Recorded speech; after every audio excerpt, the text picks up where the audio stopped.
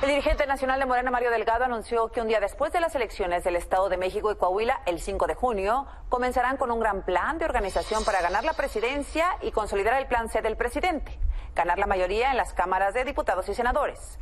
Además, le respondió al canciller Marcelo Ebrard, el único presidenciable con el que no se ha reunido, le dijo que sí, que sí habrá reglas para definir al candidato presidencial, pero antes que pase la elección del 4 de junio que hay muchos que ya tienen prisa sobre el 24.